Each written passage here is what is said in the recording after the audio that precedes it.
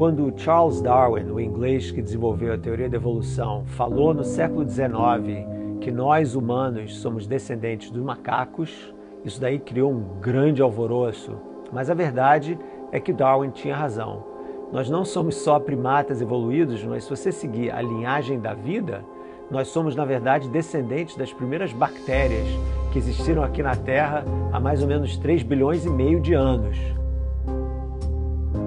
Antes, nós ficávamos à mercê da natureza, mas nós humanos começamos a dominar, de certa forma, a natureza. Nós podemos combater doenças. Nós desenvolvemos a medicina justamente para isso.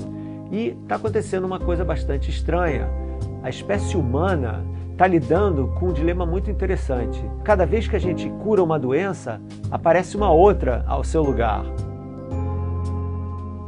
Sempre vão haver possibilidades de doenças inesperadas, tantas as que aparecem naturalmente quanto as que aparecem artificialmente. Porque hoje em dia, com a nossa habilidade de manipular o código genético de várias criaturas, nós podemos criar novas formas de vida. E isso pode ser uma coisa boa, por exemplo, no combate de doenças, mas pode ser uma coisa muito ruim, como por exemplo na guerra biológica.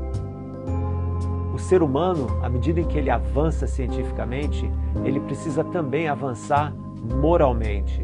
Não adianta só criar novas tecnologias ou novas armas, a gente tem que aprender a usar essas coisas com sabedoria.